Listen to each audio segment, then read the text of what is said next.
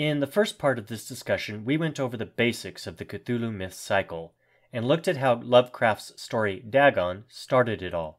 This time, we will see how, using the Call of Cthulhu and the Shadow over Innsmouth, the myth expanded with hints to a possible frightening conclusion how the human race will end. Hello, and welcome to NDM English. My name is Nate, and these are my notes. What stories are to be included in the Cthulhu myth depends on the accepted reasoning. For a few, every story is part of his cosmic horror vision. More discerning or careful readers have a much shorter list that includes about 10 or 20 stories. One main argument is if a single element, such as the town of Arkham, the Necronomicon, or the great Yog Sothoth, are mentioned, then it should be included in the list. Others argue that focuses too much on inconsequential name drops that don't necessarily add any new elements. Probably the biggest mistake is to assume only a handful of stories are myth material. This very review only looks at less than a handful of stories that make the whole, but these are used as examples of how the author connected elements together to grow the literary world of his imagination. A few other important stories to read would be The Nameless City, where the mad poet Abdul Alhazred, who wrote the Necronomicon, is mentioned, along with the important couplet, That is not dead which can eternal lie, and with strange eons even death may die. It is a quote that will come up again in relation to the Cthulhu monster. The Dunwich Horror, that was mentioned in part 1 of this discussion, and a complete discussion all about the story, of course mentions Cthulhu and those around it. The Whisperer in the Darkness, about an extraterrestrial that steals human brains and takes over their bodies. Because of its mention of interdimensional space, elder things, demigods, unknown materials, and other details. The Dreams in the Witch House adds to the mythos atmosphere. The novella At the Mountain of Madness gives even more background to what happened at least a billion years before Earth life existed. Finally, although not exclusively, the thing on the doorstep has a connection to the shadow over Innsmouth, and therefore the Cthulhu myth. Comment below if you think these are the most important Cthulhu mythos stories, along with the other two that will be explored. Or should others be included? Do any dream cycle stories belong here? In the famous story that has reached pop culture status, Call of Cthulhu, the large stone monolith in the Dagon story is transformed into a small statue. There are many differences, such as one strange monster instead of a few monsters battling a whale. There's an inscription of words rather than only pictures. However, the main purpose of worship to a large water deity is still implied. The shape of the monster has a human like body, dragon wings, and most important, an octopus head. Other features where the figure sits indicates a creature of enormous size. Little as the statue is, it still remains as an awe-inspiring and as huge as one found by the sailor that had gone insane. The true start of the story is told in the middle, when another ship disaster leaves men drifting into the uncharted waters. A ship is sunk by pirates, and prisoners are taken. These prisoners soon overtake the pirates by rebelling and take command of their ship. After this chaos and violence, they run into the same unstable black muck as in the Dagon story. Just as before, this muck changes into a dark landmass that the sailors can then explore. The word cyclopean that Lovecraft loves to use is in this as well, describing the huge, unbelievable structure that the sailors start to climb over. With the strange discovery, there is no longer the difference between pirate and fighting sailors. Both want to find out what it is that is on this island, although they all have a general fear mixed with their curiosity that sends them wanting to run away at the same time they want to look at what might be in the huge door that they find. Where the Dagon Island had only one architectural feature with the stone column, most of this island is artificial. Of course, this is the lair of Cthulhu, who is soon to be awakened by these men. Where worship was strongly hinted at in the Dagon story, it becomes a major focus here. Those who worship the Cthulhu monster are not themselves aliens. They are humans who have lost touch with civilization in one way or another and sacrifice human life. It is a secret death cult indicated to exist in all pockets of the earth. Even the most primitive of people shun and are afraid of them. The reason for their rituals and devotions are not entirely understood, but if they are successful, a completely new moral order will take over and rule, not one of civilization and equality, but total and complete social chaos. By common human standards, there will be no rules, but whatever one wants to do and to whoever. Decency will be replaced by decadency of the highest disorder. As to be expected from the examples of other stories, the line between reality and nightmares is put into question when Cthulhu invades human consciousness. These are not only sleeping dreams, but full blown waking visions. Those who are already on the edge of sanity and the artistic are the most susceptible to Cthulhu's influence. Sculptures and pictures of the immense octopus, dragon, humanoid monster are made with unusual skill.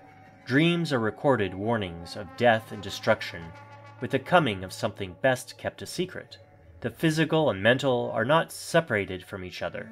Many parts of the earth are interrupted by earthquakes. At the same time, there is the hysteria outbreaks. Very few recognize the relationship and fewer see it as a premonition to greater disaster.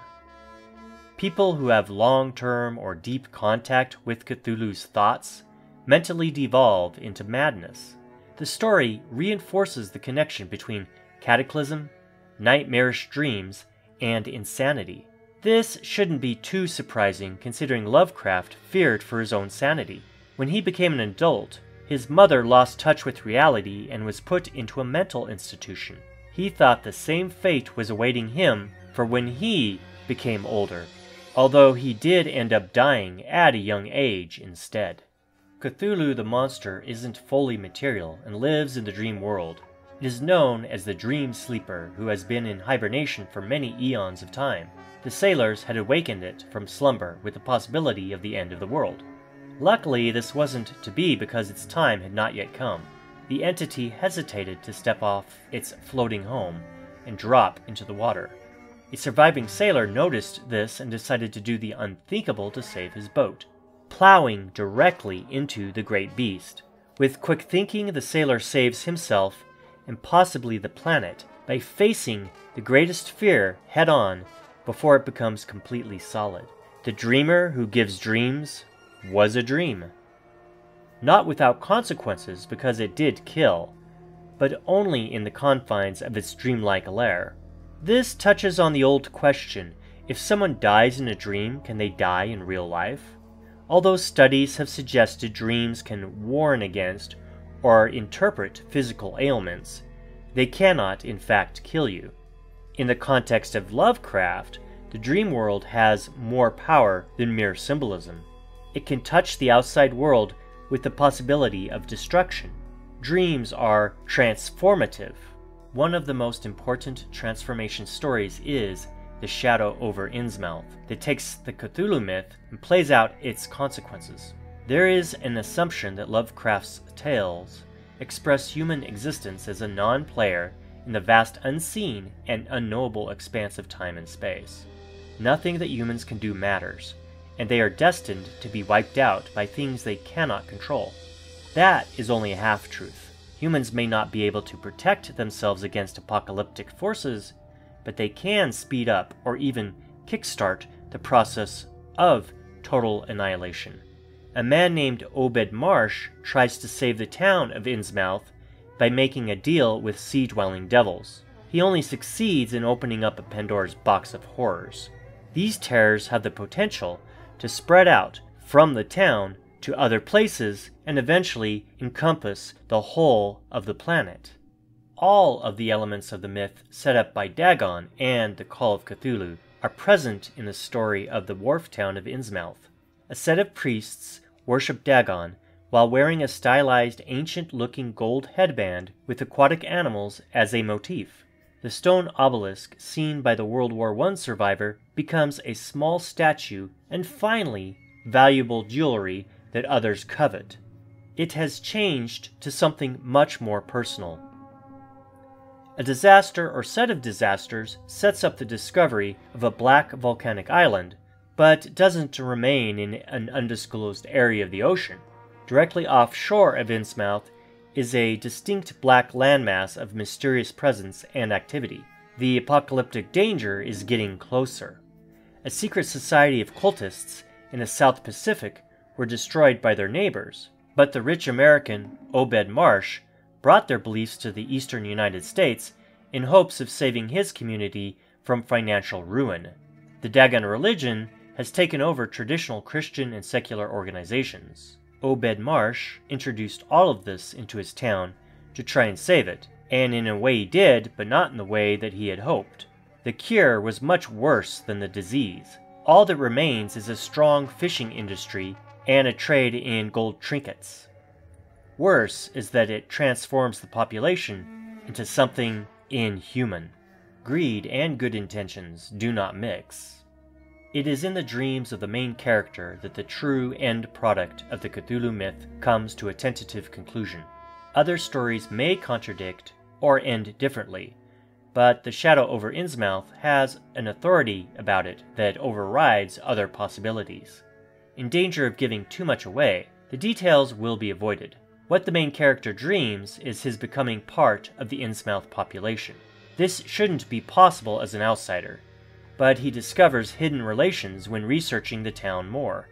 As usual with Lovecraft, he wonders if he is losing his sanity, but in this case, knowing he remains sane no matter what he might be experiencing or others believe.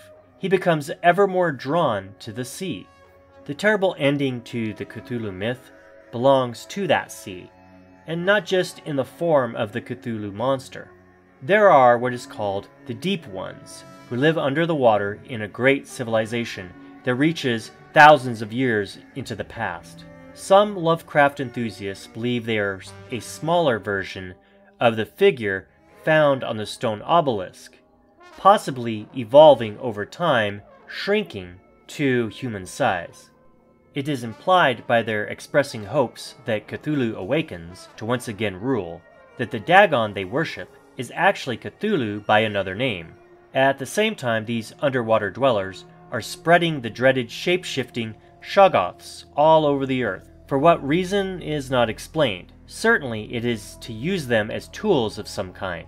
Most fearful of all is their plans to either kill off humanity or crossbreed with them until extinction. The reason that is possible is because humans had evolved from creatures that have come from the water. Therefore, humans are in some ways related to the deep ones, no matter how far back in that past. To sum up the Cthulhu myth, it is the story of human social degradation and extinction. It is how human civilization is destroyed by aliens from other dimensions and relatively non evolved creatures from the depths of the sea. These are helped by wicked people who worship chaos. Even those forces that seem so alien are to some extent an other part of humanity, either creators, impostors, or ancestors. Once again, for a man who is known as an atheist, the religious moral ideals are still present.